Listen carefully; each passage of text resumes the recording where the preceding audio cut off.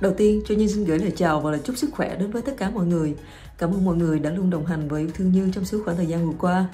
Như rất là vui khi mà chiếc áo đấu Như gửi tặng cho ban tổ chức giải thưởng và bóng bàn Việt Nam năm 2022 thu về được số tiền là 50 triệu đồng.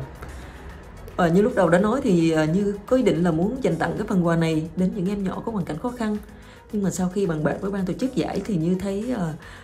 gửi tặng có phần quà này đến những cụ tuyển thủ có hoàn cảnh khó khăn cũng vô cùng ý nghĩa nên như quyết định là sẽ dành cái số tiền này mua những phần quà và gửi tặng cho những cụ tuyển thủ có hoàn cảnh khó khăn nhân dịp năm mới sắp tới. Như cũng xin gửi lời cảm ơn đến ban tổ chức giải thưởng và bóng bàn Việt Nam, báo Sài Gòn Giải phóng đã làm cầu nối cho Như đến với các nhà tài trợ